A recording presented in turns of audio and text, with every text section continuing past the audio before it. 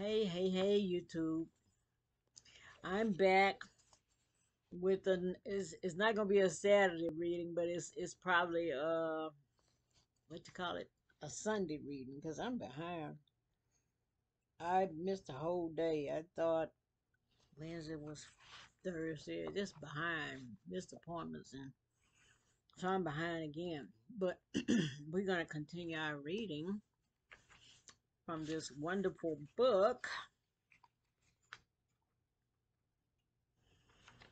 And I understand that a lot of people don't read. I'm, I'm not trying to uh, force people to read what I like, but I just I just like books and we're gonna read a little bit and don't forget let's see oh, this is the book yeah don't forget about this book the book of answers we're starting so think about a question you might have I have a question Mm, do I really want to know the answer but anyway think about that So here we go with where we left off last week. Last, uh, let's see, we're, we're talking about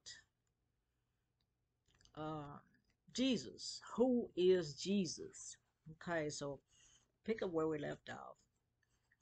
First, however, we must become one with the Christ self. It takes a Christ consciousness to set these laws aside, just as it takes true knowledge to set aside false beliefs. Hmm, interesting. The Christ spirit is the essence of love. The Christ force is the love in action. The spirit and the force are universal, acting always and everywhere.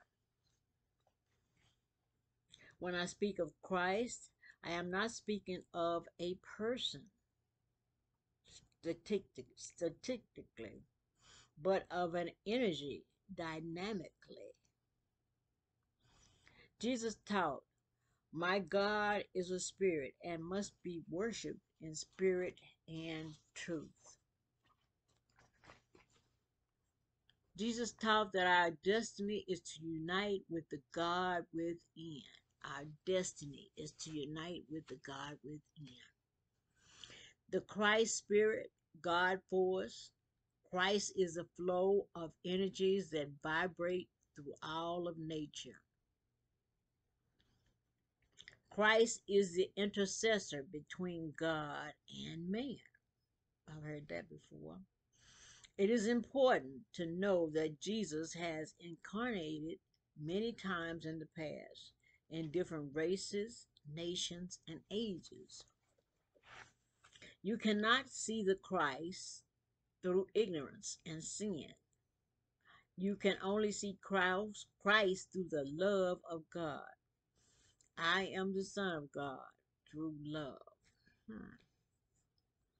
One of the major doctrines that Jesus taught was that we live life after life until we overcome life's conditions, until we no longer reincarnate. One of the major doctrines that Jesus taught was that we live life after life until we overcome life's conditions, until we no longer reincarnate. Okay, I read that kind of funny. The second coming of Christ essentially is our personal return to enlightenment.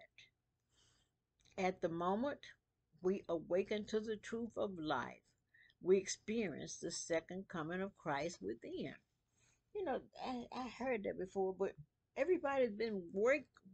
Let me get some tea. Waiting on the second coming of Christ. Let me read that again. Mm-mm-mm-mm.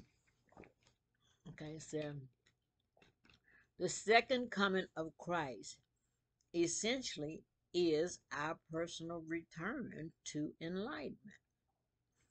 At the moment we awaken to the truth of life, we experience the second coming of Christ within. So that I that would be nice. We just gotta wake up. the second coming of the Messiah is our own enlightenment. Our own enlightenment.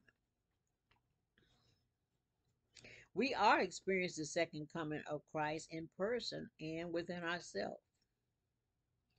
The enlightened council of Nicaea distorted and censored the original teachings of Jesus and Moses, neglecting the principles and doctrine of taught self discipline and empowerment. Hmm. The Christ consciousness is a state of different awareness and the unity of the divine God. Heaven is a state of consciousness. Heaven is a state of consciousness. Ooh, okay, I can. Heaven is a state of consciousness. Okay. When you have the Christ consciousness, you are never in doubt or afraid. You have supreme confidence in your ability to, to accomplish what you have set your mind to do. You receive your inspiration and guidance. Jesus was a perfect proof that man can be God. I like that. It is time to do God's work. Reincarnation was the supreme and major teachings of Jesus. Jesus insisted always upon God being the one who doeth, does the work, doeth the work.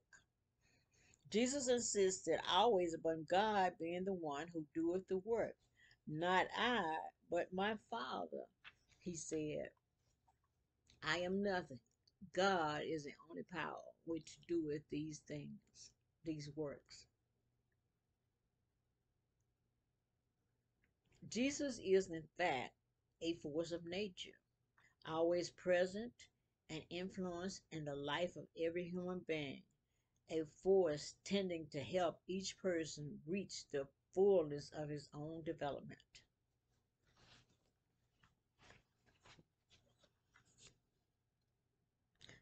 The Christ is God flowing through the individual. Hmm, the Christ is God flowing through the individual. Hmm.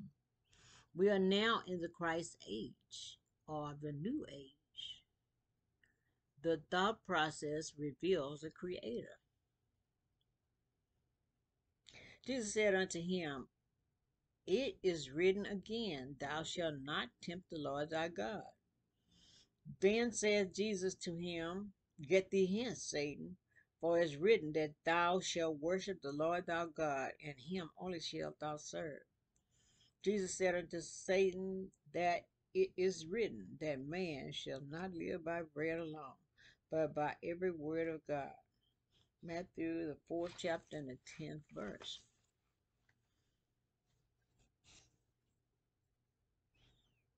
Okay, I'm gonna, I'm gonna skip a few things because it's, it's some things I, I see they're repeating.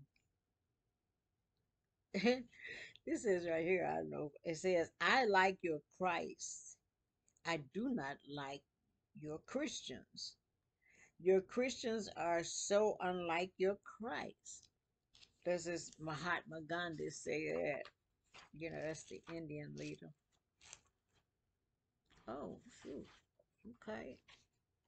How many minutes? Well, eight minutes. I'm at the end of chapter three. The next one is uh, chapter four religion and the word of God. But let me see. I had some notes. And it's kind of like an addendum. Um, it says there are only two mistakes one can make along the road to truth not going all the way and not starting. not going all the way and not starting.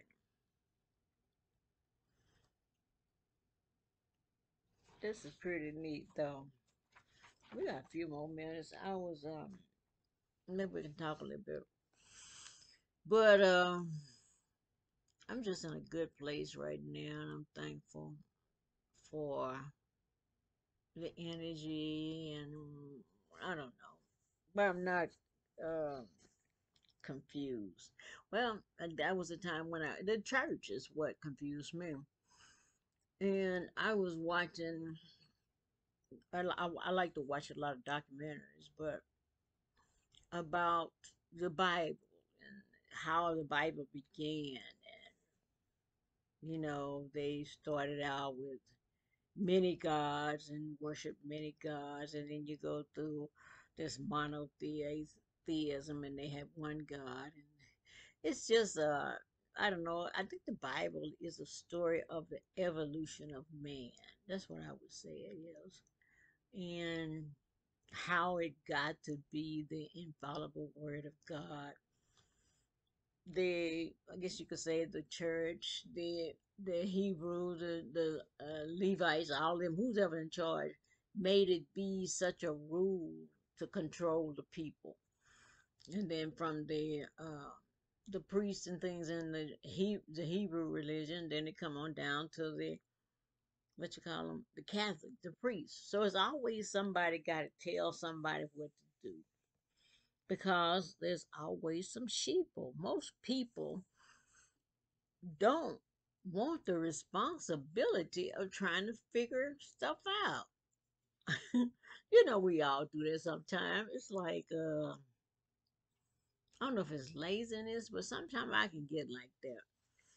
There's a whole bunch of stuff you can't figure it out. Somebody help me and figure this out because I don't want to figure it out. And I think that's what uh, religion does that to us. We don't want to sort things out because it causes us to have to think.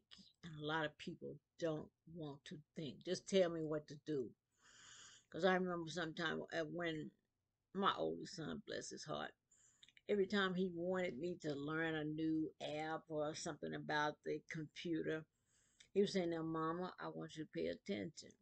And because I'm going to show you this. And he would always say, I'm not going to be here all the time for you to do this. And bless his heart, he's not here. So many questions I have. But, um, Oh, so many things he have said to me. I remember one time here I'm changing subject, but I'm gonna get back to what we was talking about. Um, you know, uh, how we uh that dog just left. But anyway, I was thinking about something he said to me. He had me about five, four or five years old. Hey, he, he was just uh, the kid that got into stuff, and we had, I had, and he didn't, he didn't bother dad like that, but he would uh, bother me.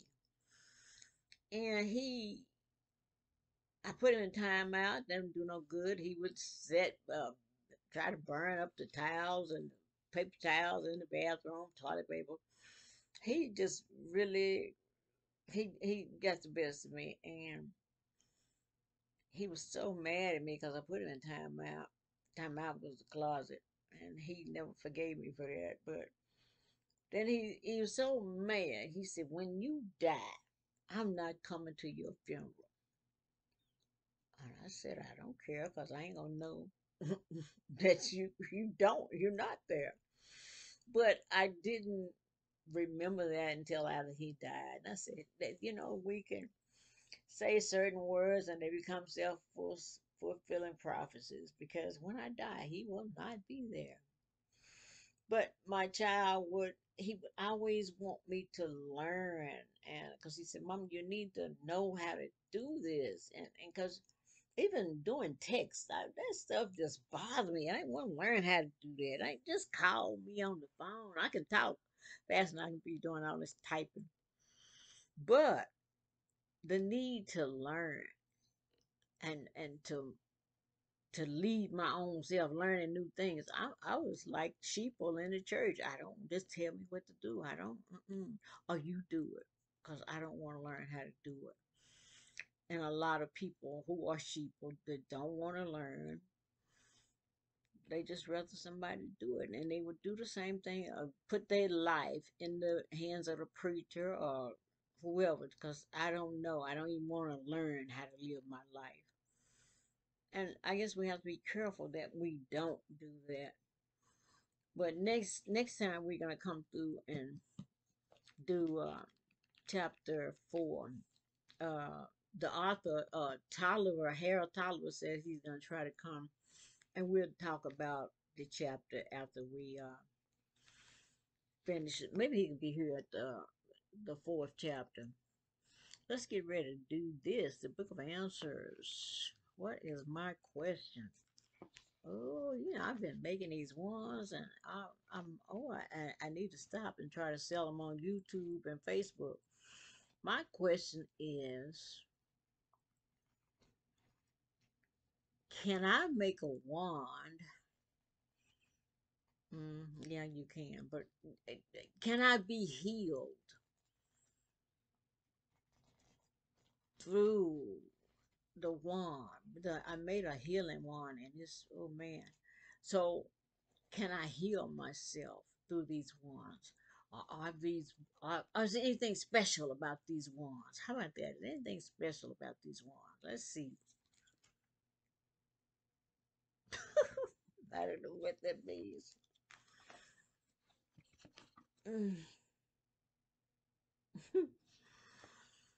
To ensure the best decision, be calm. Be be calm.